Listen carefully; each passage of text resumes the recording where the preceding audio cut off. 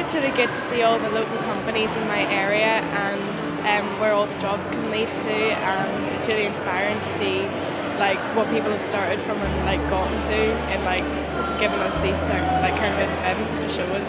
So yeah, it's really good. It's a wonderful opportunity for the pupils to see all these companies come together and all the opportunities that they are providing for the local community. And so hopefully this will continue and we'll get more opportunities like this in the future. Super.